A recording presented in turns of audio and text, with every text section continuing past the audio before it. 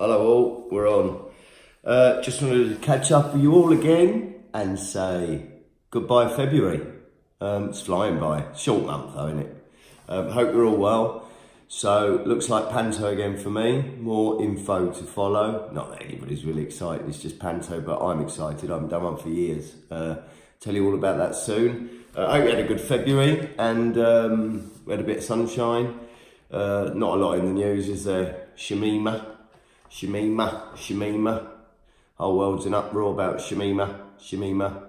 She, uh, she was uh, going to be allowed to come back to the UK. She was offered a, a flat in Croydon, but she decided to leave it and stay in Syria. No fools. Um, who could blame her? And um, they're all leaving the political parties.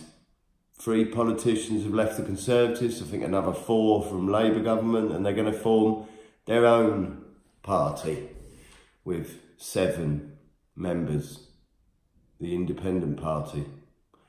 Seven people, that's like a party at my house when all the best people don't turn up. Anyway, onwards and upwards, have a good march and uh, keep busy, keep safe and keep warm and uh, I'll see you all soon. Bye everyone, bye.